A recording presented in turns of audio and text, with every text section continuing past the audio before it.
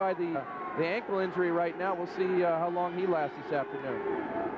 Cross white to pass on second and five. Looking deep, has a man Dyson, and it is deflected by Jaiya Figueras. Outstanding play by Oregon's free safety. Well, we've seen that kind of play earlier this year where a guy goes up and mistimes his jump. You're going to see Figueras, number 22, times this just right, and there was a little bit of space behind him had he not been there. There's McLemore, number nine, a safety coming over there. And, uh, you know, that's a nice thing, a deep pass with two Oregon defenders around them. That's been a problem with them.